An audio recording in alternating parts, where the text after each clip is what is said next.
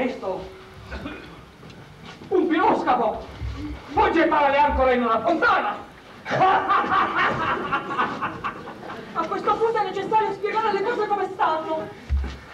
Certo, non è pazzo. Si è finto pazzo per stare vicino a me. L'altro ieri notte è stato con me in questa stanza. Poi tu mi hai mandato dalla zia, lui è venuto per trovare me, invece ha trovato te. Ecco tutto. La hai cercato di chiudermi qui dentro. Se tu non avessi cercato di imprigionarmi, questo non sarebbe successo. Ora è necessario che Alberto mi sposi.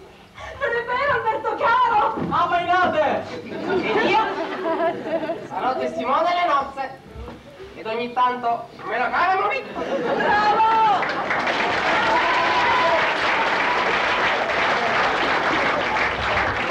E nel piroscafo ucciso il re di Napoli! Dentro le giberne, i tredici massi, c'è un cappello da prete.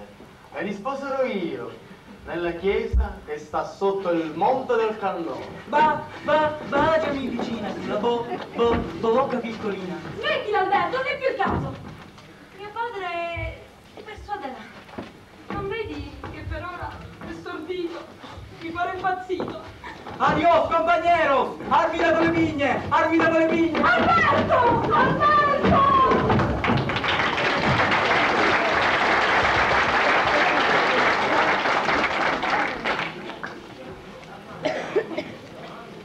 Cercar che giova! Al buio! Non si trova!